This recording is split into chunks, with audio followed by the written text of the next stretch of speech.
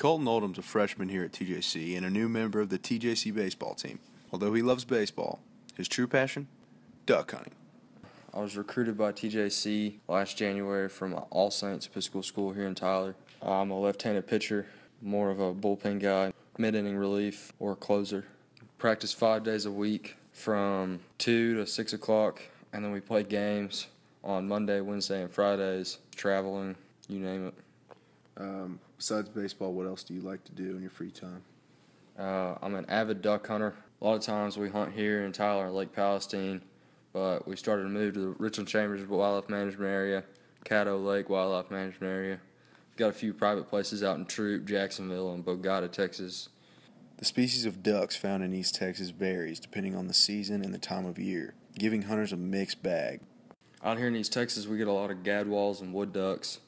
Occasionally, you get into a bunch of greenheads on a private pond. On Lake Palestine, we mainly go after divers, ringnecks, bluebills, and canvasbacks. Caddo Lake, we usually shoot a mixed bag.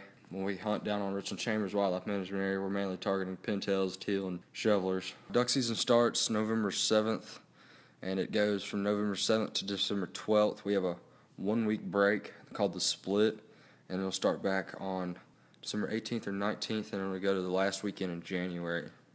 During his time off from baseball, you're sure to find him running around East Texas with a gun in his hand. Uh, yeah, it's very hard to pick a time to duck hunt or even hunt in general. We play games on Saturday and Sundays sometimes. We have a tournament or something. Any free time I do get, I try to find myself in a bow stand or somewhere hunting something.